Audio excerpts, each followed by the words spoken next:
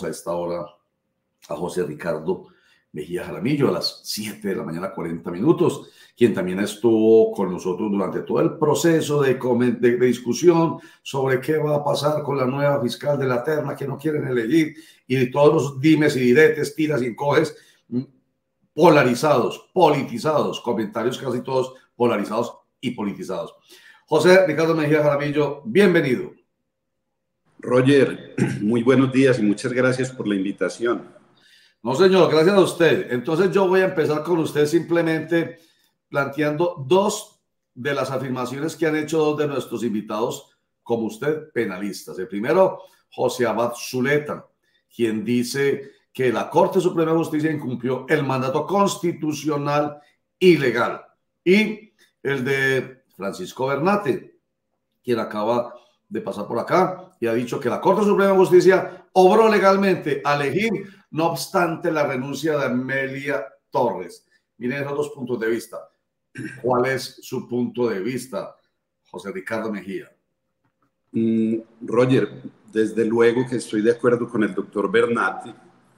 A mí me parece que mm, es, esa otra posición que ya, que ya empieza a poner pues en entredicho la elección de la fiscal es, es, es una posición como de, tan obvia, tan obvia entre nosotros. Eh, eso me recuerda, Roger, eh, que las personas cuando lo conocen a uno como abogado y empiezan a ocurrírsele cosas, le preguntan a uno, ¿y esto se puede demandar? ¿Y esto se puede demandar? Todo se puede demandar. Todo se puede demandar. Otra cosa es que esa demanda prospere. Eh, yo creo que la elección del fiscal de la fiscal, perdón, fue ajustada a derecho. Mm, incluso acabo de, escuchar el reporte coronel que invito a los, a los televidentes, a los escuchas a, a, escucharlo. Daniel Coronel cuenta como intimidades del debate al interior de la Corte. Y uno de los argumentos fundamentales viene de un laboralista que dice pues que eh, una terna, una terna no puede quedar al garete o al capricho de, de que uno de los integrantes renuncie. Porque entonces imagínense en todas las ternas, siempre que alguien se dé cuenta que vaya a perder, va y renuncia, entonces deslegitima esa terna. Ahora, también es cierto, Roger, y yo por eso te he dicho que el tema de fondo aquí es la reforma a la justicia, la reforma a la justicia, porque esos magistrados que llegan a las cortes no son los mejores juristas del país, están muy lejos de serlo porque allá llega cualquiera, cualquiera. Incluso podrían llegar por sorteo y de pronto nos iría mejor. Entonces, eso es lo que genera mucha inseguridad, porque seguramente pues, vendrán una cantidad de demandas que se adelantarán ante el Consejo de Estado y esa calidad de personas que llegan al Consejo de Estado son las que le generan a uno incertidumbre, las que lo preocupan a uno de decir esos carajos por sus intereses podrán fallar en contra del derecho, en contra de la Constitución. Entonces, eh, pero todo se puede demandar, Roger. O sea, yo creo que ahora la mirada es otra. Yo pienso que por primera vez desde que se creó la, la figura de la Fiscalía General de la Nación, llega ya una persona decente para solo utilizar ese adjetivo también se podría decir una persona relativamente independiente de las fuerzas políticas del país, de los partidos políticos, de las élites del país. Y eso a mí me tiene muy contento. Me parece que esta señora tiene mucho que hacer. Yo no creo que se vaya a paralizar pues por el miedo pensando que la van a demandar. No, ella tendrá abogados que respondan sus demandas. Ella ajustó su comportamiento a derecho y mm, esta señora lo que, si quiere hacerle un bien al país, debe limpiar, limpiar a la Fiscalía General de la Nación de todos esos nombramientos de, de libre nombramiento, de cargos que están en libre nombramiento y remoción, porque volvieron eso un directorio político y vincularon un montón de gente que no tiene nada que ver con eso, que no se prepararon para eso establecer una carrera judicial establecer la carrera, que además hay un fallo de la Corte Constitucional que le mandó hace tiempo a la Fiscalía establecer la carrera y el fiscal Barbosa se dedicó a proveer de a, de 200 y 300 cargos. No, eso debería ser. Los más de 20 mil cargos que hay en la Fiscalía deberían ser todos de carrera para que efectivamente en su actividad judicial esos funcionarios tengan plena autonomía e independencia. Doctor José Ricardo, antes de, que, de hacerle la pregunta, quiero hacer como una especie de claridad frente a qué viene para la nueva fiscal. De acuerdo con, como esto no se trata de, de, la informalidad, sino de la formalidad, se tiene que formalizar esta elección. La Corte calcula que esa formalización a través de las notificaciones que se tienen que hacer se estaría dando hasta el 21 de marzo. De ahí en adelante quedarían 15 días en los que la Corte tiene o que la Corte tiene para la posesión de la nueva fiscal. Es decir, que podríamos estar hablando que la nueva fiscal se estaría posesionando o a finales de marzo o a principios de abril. Esto quiere decir que la fiscal encargada, Marta Mancera, se quedaría por lo menos unos 15, 20 días más en ese cargo.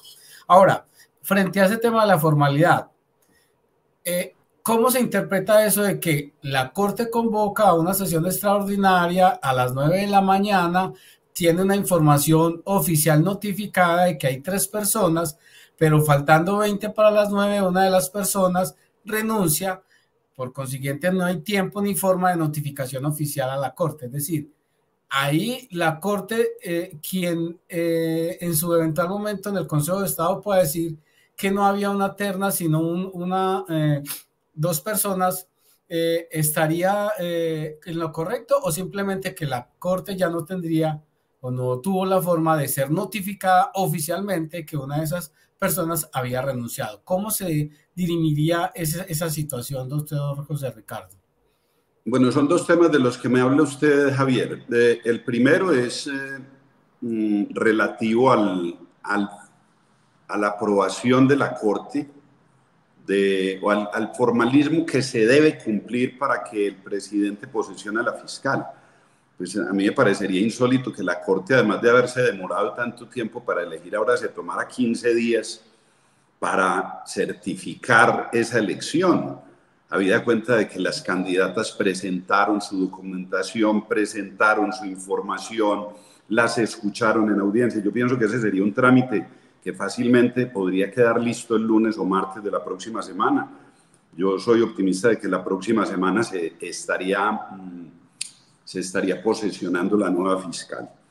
Y respecto de si hay terna o no hay terna, Javier, mm, mire, tengo entendido, a ver, lo primero es, la doctora Amelia Pérez debió haber renunciado ante quien la postuló, no ante quien la iba a elegir.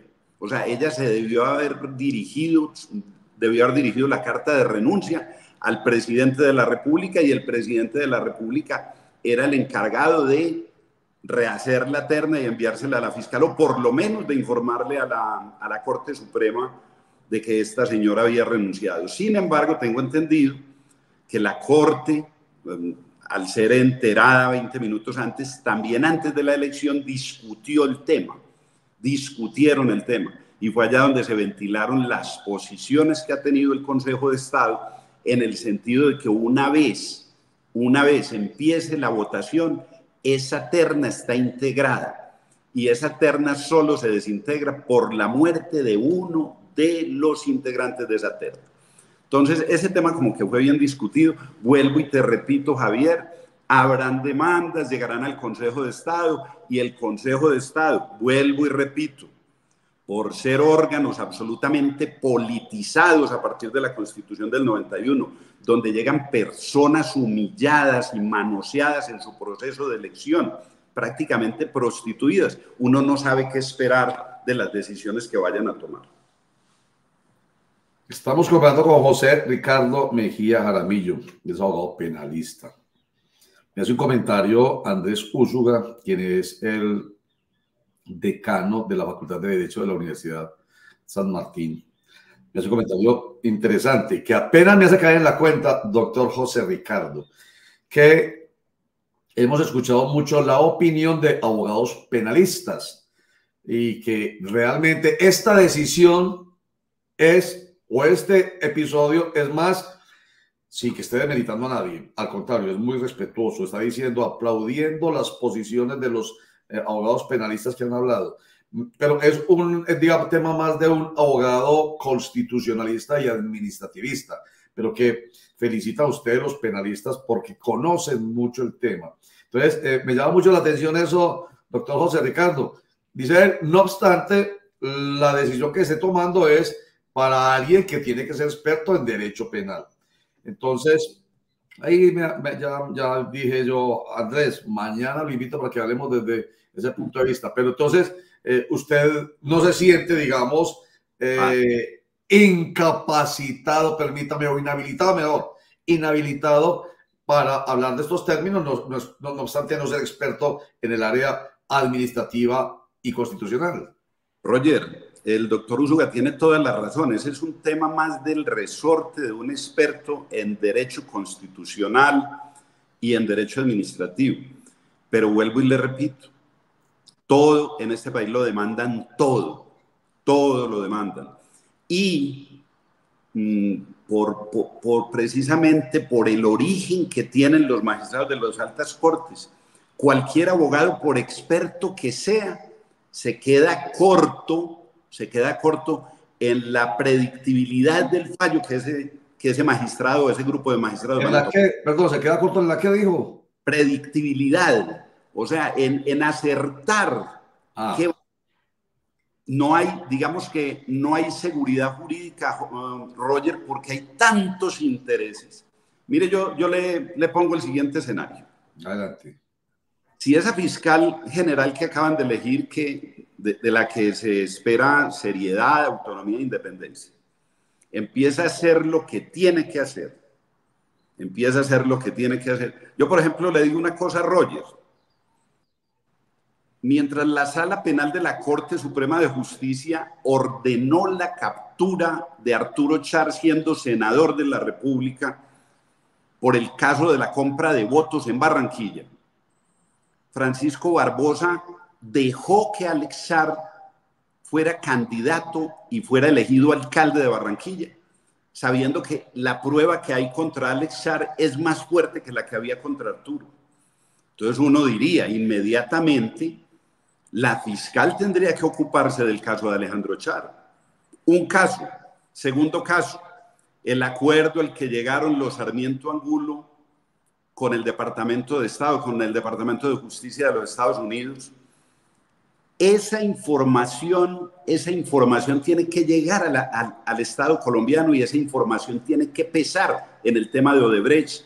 Y a estos señores que son prohombres de la patria, personas muy respetables, seguramente les tendrían que imponer mínimo una medida de aseguramiento eh, en el caso de Odebrecht. Y todo ese entorno del caso de Odebrecht entonces, uno mal pensado, uno mal pensado, uno diría que si esa fiscal empieza a realizar todas esas ejecutorias que tiene pendientes, pues porque ahí no le estoy hablando de no dos casos, pero piense en muchos otros casos de resonancia nacional. Si esa señora empieza a ser incómoda para las élites, es muy seguro que el Consejo de Estado, que es, vuelvo y repito, son politiqueros los que llegan allá Qué pena, pues qué triste desarrollo. Y pero es que mire, Oiga, José Ricardo, perdóneme. Entonces, cuando usted dice esto va a quedar en manos del Consejo de Estado, ya lo dijo ahorita, pero es que son expresiones que es muy importante que queden aquí muy claras. Entonces, esto va a terminar en el Consejo de Estado, precisamente por lo que decíamos ahorita. Esto es una decisión que está, hace parte de la, del Código de procedimiento administrativo y lo contencioso administrativo y no del código penal. Esa es la gran diferencia para nuestros televidentes internautas. Cuando hablamos de cuál es la competencia de esto, no, esto es del código de procedimiento administrativo y de contencioso administrativo, cuyo alto tribunal es el Consejo de Estado, el que tomará la decisión en torno a la decisión eh, ya tomada por la Corte Suprema de Justicia. Pero usted, ¿qué es lo que le ve al Consejo de Estado? Porque ha venido diciendo eh, estos señores, ni los de la Corte Suprema de Justicia, ni los del Consejo de Estado, tienen, no sé si vale la pena expresar la, el comentario que hizo la otra vez eh, eh, Jaime Arrula Paucar, el suficiente peso en la cola en el, tema jurídico? Pues eh, la, la, fiscal que nombraron sí tiene peso en la cola. Yo dudo mucho de, yo dudo mucho de que el doctor Jaime Arruble haya tenido peso en la cola cuando fue elegido magistrado de la Sala Civil de la ah, Corte. después de haber perdido una elección a la alcaldía. Es que yo creo que es el único candidato a una alcaldía que terminó después de magistrado de corte. Eh, pero mire, Roger, esa es la situación en general de todos los magistrados de las cortes, que por eso le digo, uno lamenta mucho eso. Es que para ser magistrado de tribunal, Roger, para ser magistrado de tribunal, a mí me parece la justicia colombiana muy respetable, hasta el tribunal. Porque para estos señores ser magistrados de tribunal tienen que ganar un concurso muy exigente con una prueba superior al 80% y además después les toca someterse a un curso, concurso donde lo siguen examinando durante un año con pruebas absolutamente exigentes.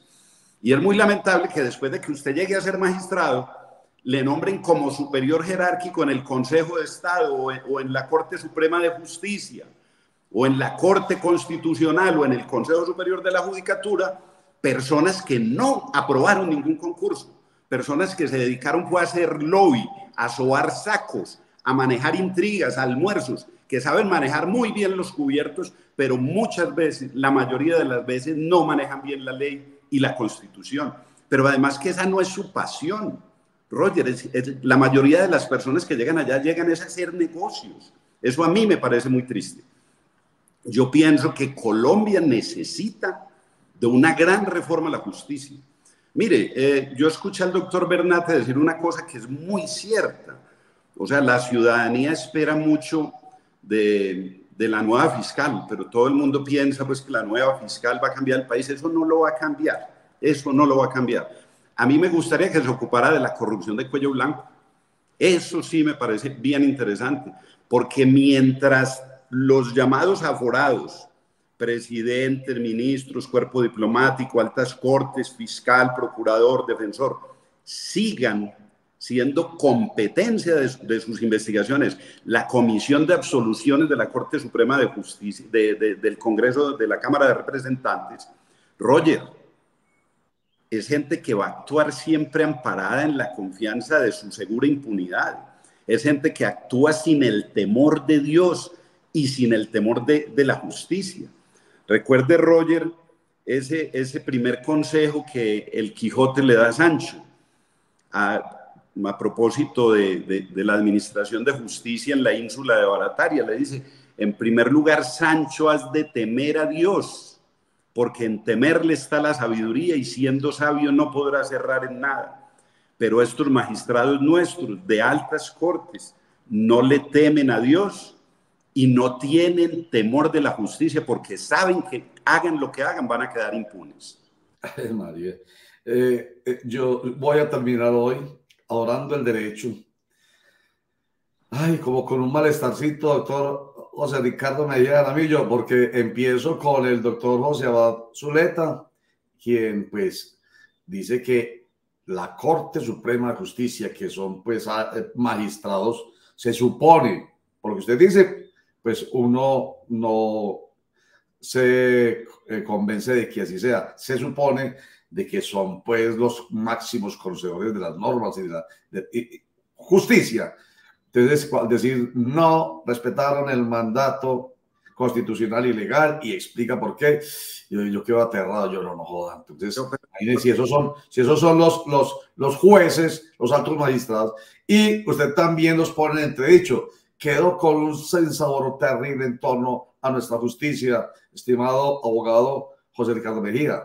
Doctor eh, Roger, yo, pero yo no los pongo en entredicho por la decisión de ayer, que además me parece que no. Me parece que en la decisión de, me parece que en la decisión de ayer acertaron. Por eso, no, peor. yo diría que peor. Me parece que, y, y, es que era difícil no acertar porque la terna era buena, cualquiera que hubieran elegido hubiera sido buena. Eso era lo bueno de esa terna Roger.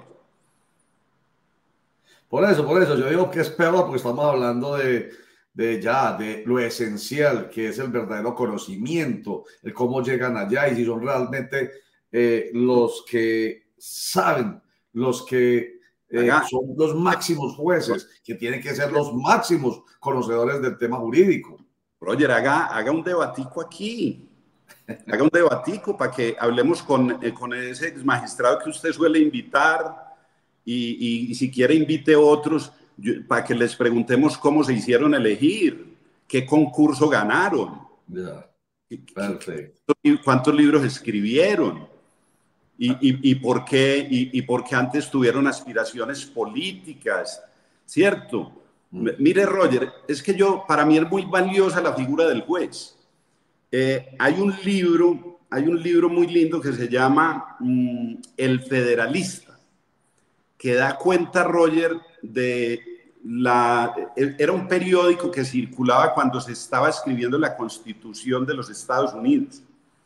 Cuando terminaron de hacer la constitución, los constituyentes americanos decidieron quemar las actas de sus discusiones por, por respeto a los jueces. Dijeron, no queremos que los jueces después vayan a pensar, vayan a mirar qué era lo que nosotros discutíamos. No, quemaron todo eso.